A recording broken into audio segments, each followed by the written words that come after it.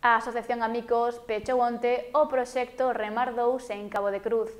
Aproveitaron a ocasión para adiantar que contará cunha terceira edición na que os integrantes de Amigos e as entidades colaboradoras seguirán traballando pola limpeza dos mares.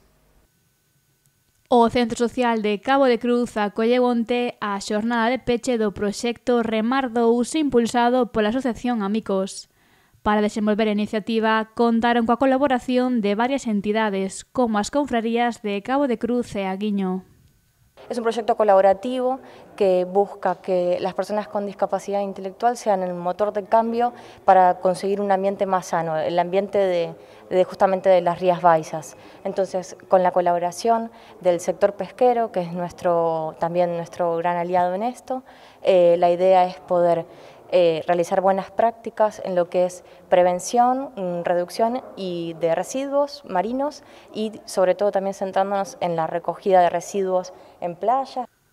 Os integrantes de Amicos tamén traballaron no Parque Nacional das Illas Atlánticas man a man cos operarios. O director xeral do Parque Nacional, José Antonio Fernández, valorou a iniciativa de forma moi positiva. Este proxecto Comezou fai xa tres anos un proxecto moi ambicioso que é para sensibilizar a xente do mar, do entorno, dos colexios, das familias, para reducir a contaminación mariña dos nosos mares. Un proxecto que colaborou neste, neste caso coa entidade de amigos, coas súas familias, co entorno, un proxecto moi positivo no que conseguimos reducir as pegadas nosas no medio mariño, dos plásticos, do lixo e intentar reciclar, reducir e educar. Ao longo de Remar 2 tamén se desenvolveron obradoiros e outras actividades. Ademais, a iniciativa prolongarase no tempo cunha nova edición. Además de limpiezas, actividades formativas, talleres con niños escolares, pequeñitos desde infantes, hasta también en colegios e institutos.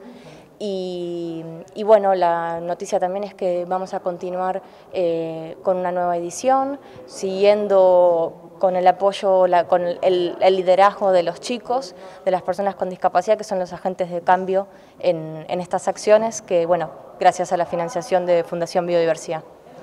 A presentación dos resultados acudiron os patróns maiores de Cabo da Cruz e Aguiño, José Manuel Pérez e José Antonio Santamaría, e numerosos representantes do Concello de Boiro, Ribeira e a Pobra.